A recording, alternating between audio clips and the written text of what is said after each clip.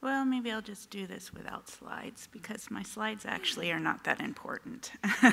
There's they are. They're online. So yeah, you can walk along with it. And my slides are, are somewhat content free because uh, I, I, really took it seriously that when uh, I presented um, this topic that it would be a, a discussion. Um, I, I, saw that there was this nice shorter um, thing where you could get input from everybody. So um, while I do have some um, ideas I want to present to you, I'm really hoping to get your opinion on, on some of the things that I'm going to talk about. Um, so the first thing I want to do is introduce myself. Um, some of you guys know me, um, but a lot of you don't. Um, my name is Kristen Accardi, and I work for Intel's Open Source Technology Center. And uh, I um, have worked in the kernel for almost 20 years now. Um, it's been all over the place. Uh, I started out in networking and then I changed over to various other subsystems over the years. Um, what's notably lacking from my previous experience in the kernel is uh, security. Um, the, so this is my first try um, at security. The previous five years I've been working on um, power management and um, the thing that's really exciting about working on security is that it shares a lot of similarities with working on power management in that it's a system level problem that it takes uh, user space and kernel cooperation in order to solve.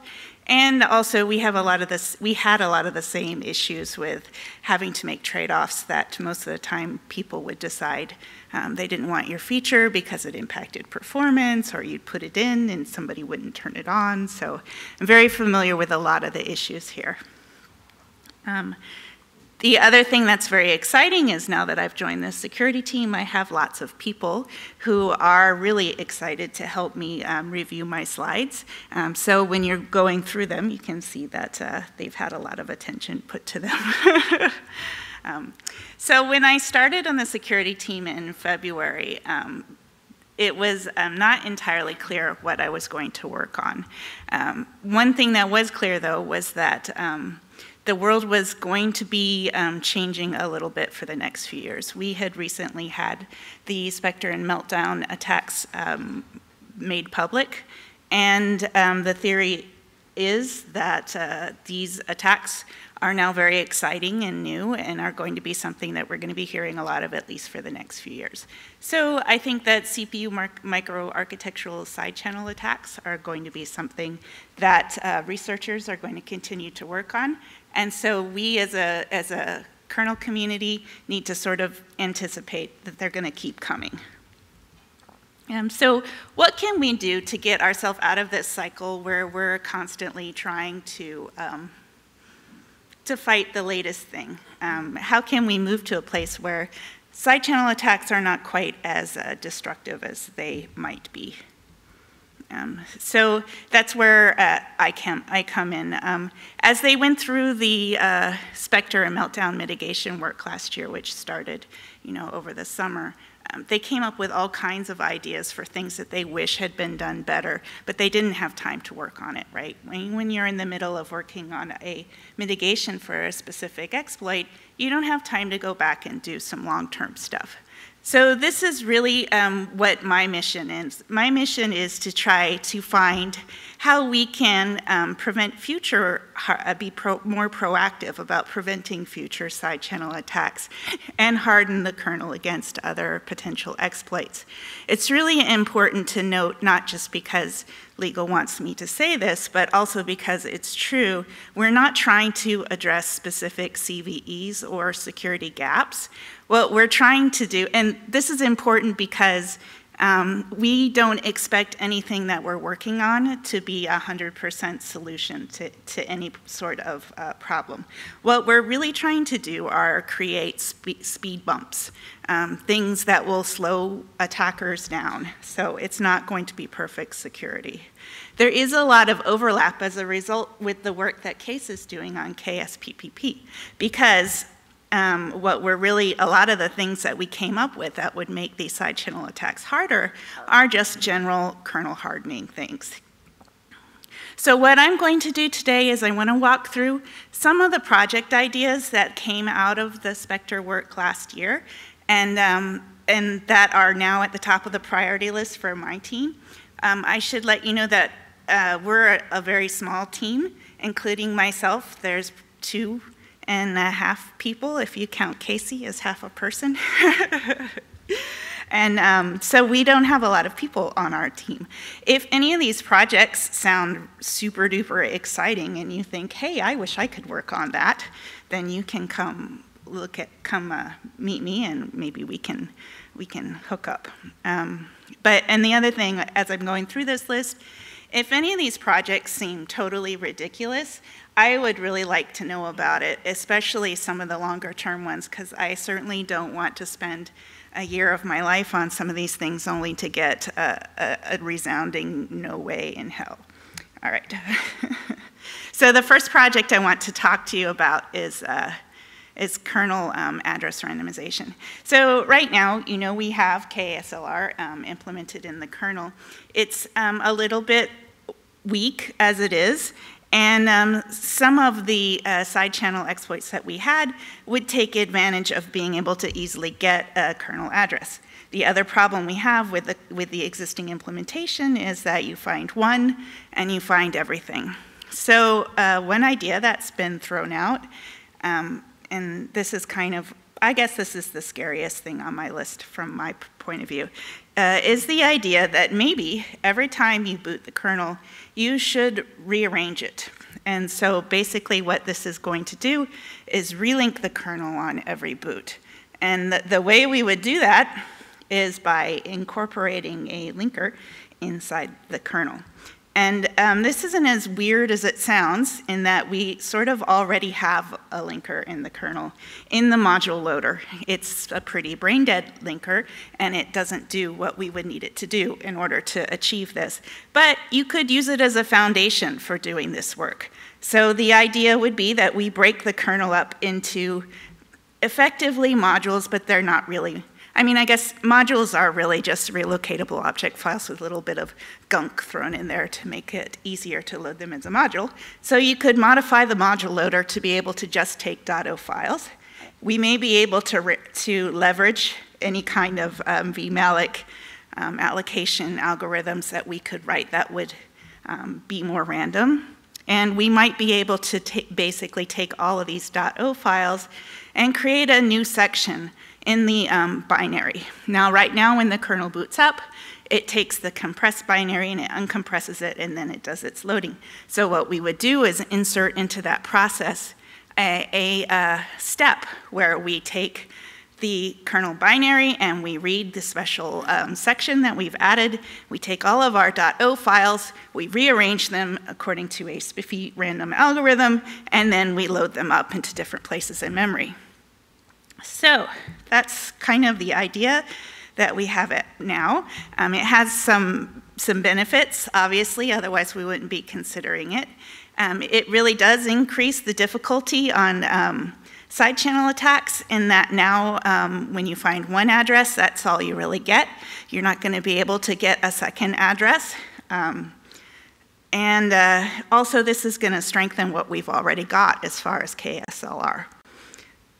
Um, the, the challenges um, to this is that uh, even fine-grained KASLR can be worked around, and it might be sufficient to have a single, single info leak um, in order to find the rest of the kernel. And it's, this certainly is going to increase the complexity of the kernel. It's going to make it harder to reproduce bugs because now you might have issues where your kernel is arranged in a certain fashion and you only have a bug that happens when it's laid out in that particular way. We would have to probably make um, some allowances and maybe have a seed that we could export or whatever to try to reproduce uh, images. But the big thing would be customers of distros are going to be running different kernel images, all of them. So now instead of everybody running the same Ubuntu image or Fedora image, they're running you know, they've got the code, but it's all rearranged. So it's going to make it a little bit difficult um, for distros to be able to assume that they know exactly what the customers got. So um, this project is, uh, is still in the research phase. so I'm, I'm interested if anybody uh, has any opinions. Um, there's an opinion over there. Do we have a microphone?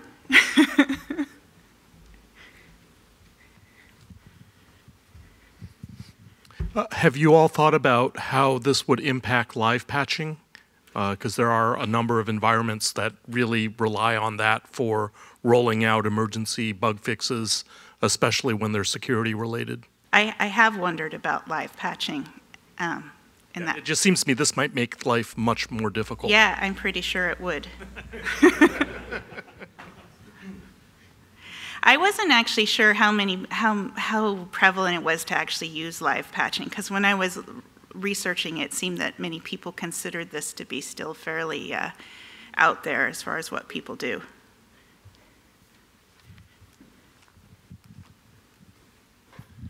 I think um, I am not an expert. I do not speak for Red Hat on this, but I think when it happens, it's really important.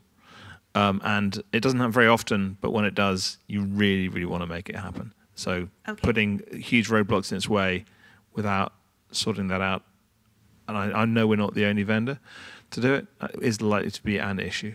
Okay, so don't break live patching. yeah, I think it's a bit of a chicken and the egg problem. People don't adopt live patching because there are things that, that break it really badly. Um, There's one right over there.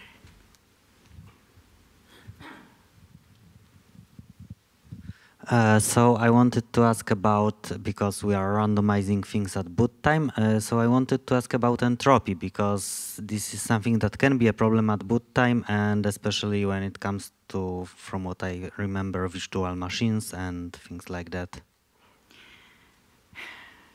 So, I mean, you, you currently have issues with entropy already because you have to be able to, um, I mean, there's, there's currently requirements that you have a certain amount of entropy when you boot a VM, for example.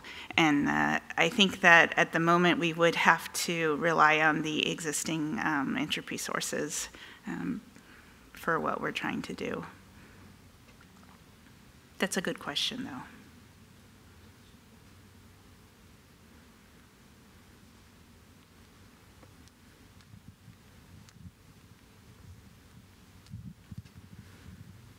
I should be taking notes since no one can see what I'm doing.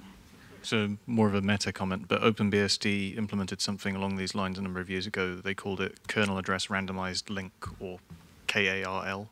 Karl, yes, I know all about KARL. So the, the main difference between what we're doing and KARL is that what KARL does is it actually recompiles the entire kernel at boot time. And so it will boot into a little mini user space, recompile the kernel, and then boot to that. Um, I actually considered this uh, uh, while we were looking at the architecture um, for this, and it seemed to me that this was more um, complex. I know that sounds weird because I'm talking about adding a linker into the kernel, but it did sound more complex than trying to do it um, without the user space portion. So the other thing was um, just as far as uh, adoption, I felt like it would be really hard to uh, coordinate. I think you'd have to sort of coordinate the uh, the image part, um, you know, the the mini user space and everything with distros, and that just seemed hard.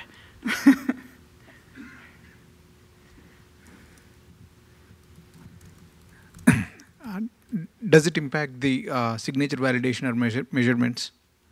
The signature validation measurements? measurements uh, since you're relocating the... Um, For secure boot? Yeah, um, I don't know. I guess it would depend on what we wound up actually implementing and where you put those measurements. I'm going to write that down, though. What about secure boot?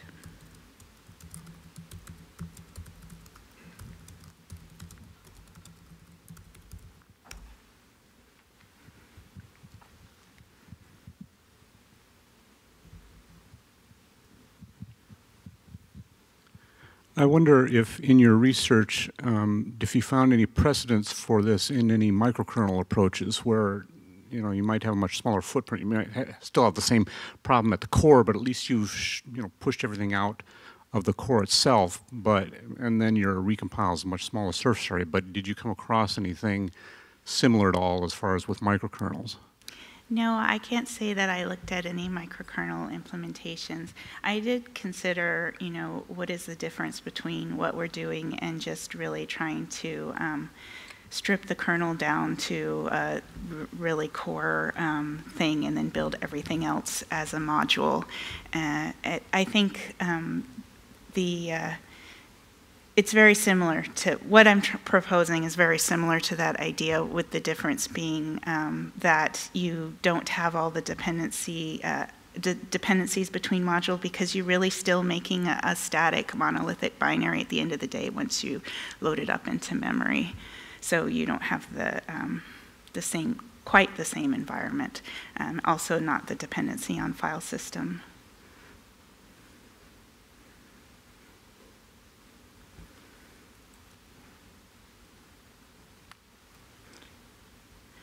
Okay, so no one was throwing tomatoes too bad, I guess. I guess uh, you're waiting for the first patch. Well, that'll take a while. um, okay, so next project. This one's easier to talk about because it's in it's in progress already, and also it was conceptually less scary. Um, the idea here is that we wanted to um, apply uh, randomization not just to the kernel text section, but also to the module text section. Um, so these patches have already been posted on the mailing list. Some of you guys might have seen it, um, but I'll just sort of uh, run through the design for this. What we want to do here, um, currently the module text range is um, a gigabyte-ish, and so um, we've, we've apparently had um, proposals for doing this in the past, and people were concerned about fragmentation of the memory area. So we try to solve this by basically splitting um, the existing module text range into two sections. And the first section is going to be um, where randomized text goes, and then the second section is going to be linearly allocated. So if you fail to find a sufficiently um, large space inside the randomized section, then you can go and use the, um, the old way of doing it in the linear section. In practice, we found that it takes loading a, a large number of modules before you ever touch the randomized, I mean the linear section, and I don't have the numbers with me on how many um, it takes, but Rick has done a lot of testing now um, after he was uh, given his first round of feedback, and it's looking pretty good. And sort of a side effect to this is this new algorithm is actually a lot faster um, than uh, linearly allocated because now you're basically bisecting the space and you're sort of randomly fitting. So your module load time actually improves uh, with this algorithm. Um, the uh, the other um, benefit to this is we've increased randomization. Now we get about 17 bits of entropy. And um, you can now link, you could now uh, leak an address in one module and you don't automatically know where all the other modules are. Um, this one has the same sort of uh, challenges as the other project does in that um, it still might not be good enough. Um, one address leak could still be sufficient. Um, we have slightly increased memory usage due to the increase, increase in uh, page table entries that we have to have. And again, we, we wind up with increased complexity um, just because now you don't know where modules might be. But at the same time, this is, this is to me anyway, somewhat of a, a no-brainer thing to do. So um, you know, if you do have severe issues with this one, I guess you can still comment on the mailing list since we're not merged, but, um, or if you have any comments you want to tell me right now about it. But I feel like this one's somewhat non-controversial. Um, just correct me if I'm wrong. Nope, okay. that or you guys are realizing that lunchtime is in five minutes. Uh, okay, here's a, another idea. this is a, a, POC that we have. It's under development, so we're, we're pretty uh, excited about this one to the point where we've actually got things um, that we're working on. So um, the idea is that we need to start protecting pages that have secrets in them. And so our thought was that we should allow user space to be able to tell uh, the kernel that a page contains a secret that needs special protection. So we think that maybe you could add a new flag to the mlock2 system call, and this flag would be used in order to apply mitigations to the memory area and also maybe the process that's mapping it. And these mitigations might include things like making this page not dumpable, making it so that you don't copy or fork it, or even disabling caching on that particular page. Um, so uh, in this one, the only downside that I see is, of course, we're, we're adding a new um, system call that comes with all of the maintenance overhead of that. But um, I wasn't seeing any downsides to this one. I'm curious what people think. There's a there's a comment back there.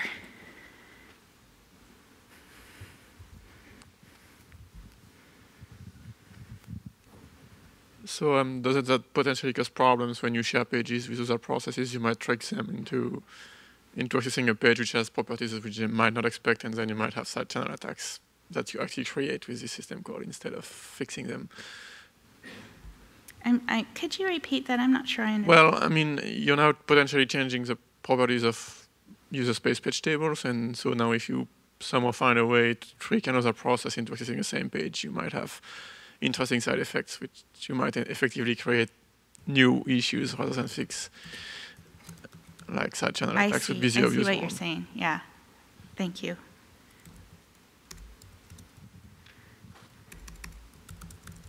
I'm writing it down. okay.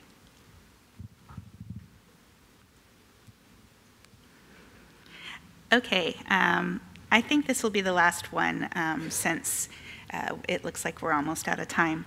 Um, so the last project that I wanted to talk to you about today is um, removing basically cache breadcrumbs from um, data that might be left, left behind um, in system calls. So this one's not addressing a particular attack per se. I, I don't know of an exploit that does this, but um, just sort of uh, thinking about it, if you call a system call and you don't really have permission um, to do what you ask the system call to do, you might still impact the um, cache by doing this. There might be things left behind as a result, even though you got a, eventually you got a, you know, eno perm or whatever. And so um, the thought was that in an error path, it's likely not performance critical.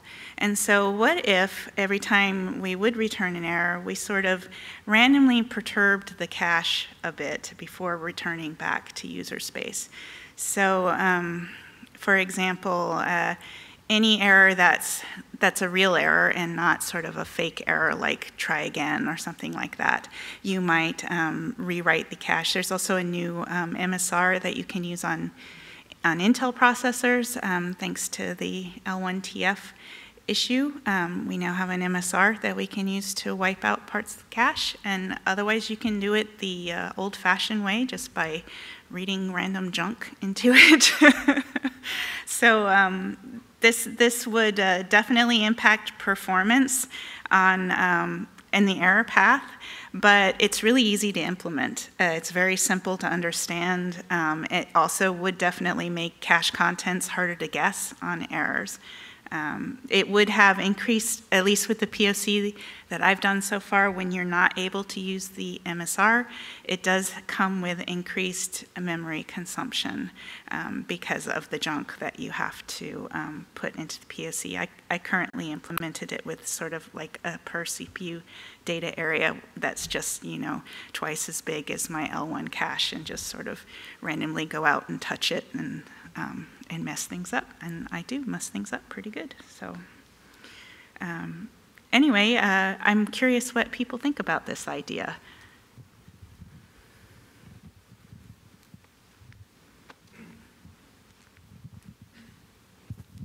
It seems like a good idea to me, especially given that many of the cache probing attacks involve sending some wildly, you know, out of bounds index um, into some system call. So if the system call is returning, you know, you know, EINVAL, like, what the hell are you doing? Yeah. Having it do something like that that slows down, you know, the attacker uh, is actually kind of a good thing. I, th I, think this is along the lines of uh, you know, possibly being able to do some sort of intrusion detection by monitoring you know the error rates of system calls uh, on processes, right? So there's probably I think a lot of exploration that could be done there. Yeah, so to sort of be more in intelligent about applying it. If you know that you're going to be generating this, it's going to be slowing things down, could you use it as an attack as well? If you know you're going to be what? If you know that this is going to generate a performance hit, could you possibly be using this as an attack? An attack. Um, DOS attack, yeah. Oh, a DOS attack. The performance hit is not that bad.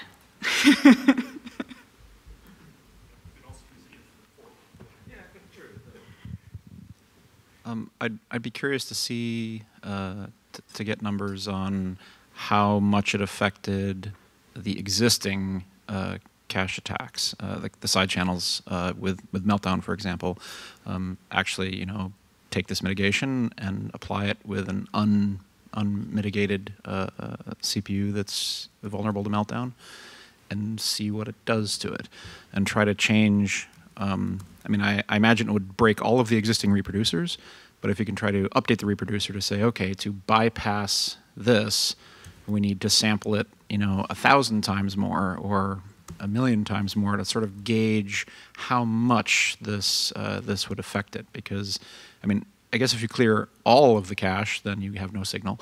Um, but if you're doing the random uh, updates, then trying to get a sense of how much uh, it, it, would yeah, affect. Yeah, that's the part I haven't um, got sorted out yet. I mean, right now in my POC, I just clear the entire cache, but I, I feel like that's probably overkill, that you don't really need to do that.